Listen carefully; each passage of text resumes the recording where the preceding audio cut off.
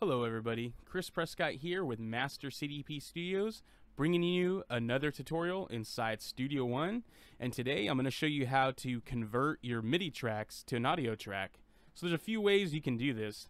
And once again, I'm going with an example that I used in my mixdown tutorial, just this short 45 second synth part that I recorded. Alright, so as you can see, I've recorded the MIDI. You can see the MIDI parts, the MIDI events right here. And what we want to do now, if we're going to want to convert this to audio, there's a bunch of ways you could actually do it. So you can left click and you can transform the audio track. So, I'm gonna leave that as is. not gonna mess with that right now. And there you go. As you can see now, there's the wave files. The wave file of those MIDI parts. Alright, and that lets you do things like if you want it to fade out, you can do that. But let's say you don't want it to be a wave file yet. Let's say you still need to work on it. Maybe you need to edit some of the MIDI parts. So all you got to do is transform the in instrument track, and it goes back to the MIDI uh, MIDI MIDI track. All right, and then another way you can do this, you can mix down selection.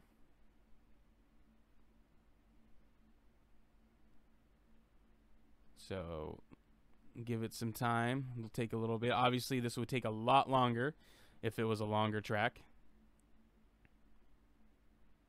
But what this is going to do is it's going to mix it down into its own wave file, its own wave audio track but it's still going to leave the MIDI events, the MIDI track there. So there you go, and let's play that back. Once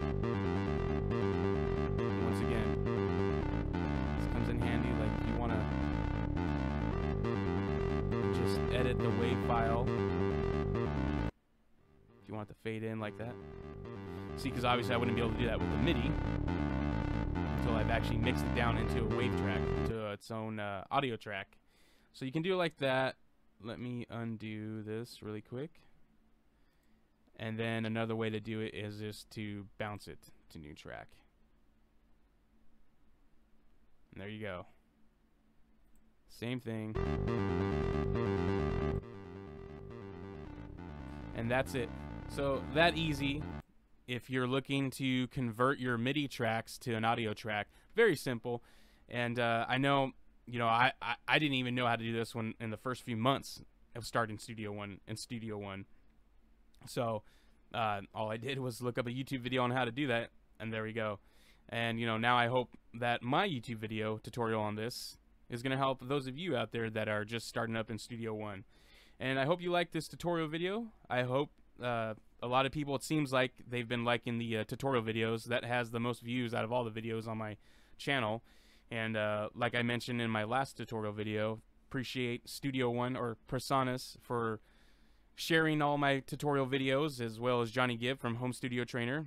I appreciate you guys. Thank you very much. And all you subscribers out there that are subscribing for these videos, thank you very much. If you could help me out by giving a thumbs up to the videos, tell me in the comments what you liked about it, what else you would like to see, what other tutorials you would like me to do inside Studio One. You know, um, anything that I know that I'm knowledgeable on in Studio One, I plan on doing a tutorial video on everything that I know to help out all those out there that are starting off as well. Because I know, like I said, I've mentioned plenty of times before, when I was first starting off, there were so many questions I had. I was very confused with using this program. Very complex uh, DAW, and it's an awesome DAW because you can do basically everything. You can mix, master, record, and it comes with a cornucopia amount of instruments for you just from Presonus alone. And then just how it integrates with other third-party VSTs and instruments. It's, it's just a great program.